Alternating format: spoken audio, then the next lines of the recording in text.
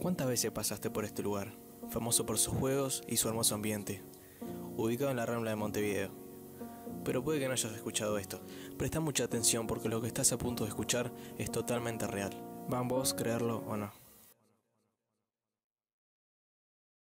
El hombre del castillo. Cuenta la historia que en abril de 1974, en plena dictadura, un encargado de limpieza del conocido castillo ubicado en el Parque Rodó Montevideo, Uruguay, llamado Wilson Perdomo, salió de su casa aproximadamente a las 10 de la noche para cumplir su turno en el castillo. A esas horas de la noche era muy peligroso salir, ya que los militares, al encontrarse gente fuera de sus hogares, para lo que tenían suerte, solo los golpeaban. Pero esa noche Wilson no corrió con esa fortuna. Al llegar a su destino, el buen hombre comenzó a hacer su labor. Comenzó limpiando las afueras del castillo como solía hacer. Todo iba bien, hasta que escuchó gritos provenientes del otro lado del lago, los cuales Wilson ignoró y siguió con su rutina. Pero a cabo de un rato, cuando estaba terminando de limpiar la primera planta del edificio, escuchó unos pasos que se acercaban. Cuando Wilson se dio la vuelta para ver qué era lo que pasaba, tenía dos militares. Ya frente a él, sin decir una palabra, lo golpearon en la cara con la culeta de su revólver. Wilson, herido en el suelo, semi-inconsciente, comenzó a implorarles que no le hiciera nada, que él solo era el encargado de limpieza y que su turno era en la noche. Los militares, ignorando sus palabras, lo siguieron golpeando. Luego uno de ellos le apuntó a una de sus piernas y disparó unas dos veces. Luego el otro lo sentó en una silla y lo ató.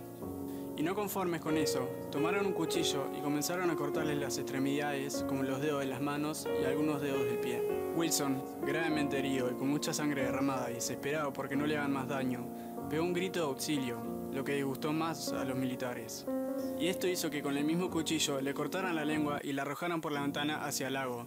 Y para finalizar, abrieron su estómago y dejaron sus intestinos totalmente fuera de su cuerpo. Se dice también que golpearon su cabeza hasta deformarla completamente. Al día siguiente, el supervisor del castillo llegó al lugar y encontró el cuerpo en el suelo repleto de sangre. Nunca se habló de eso.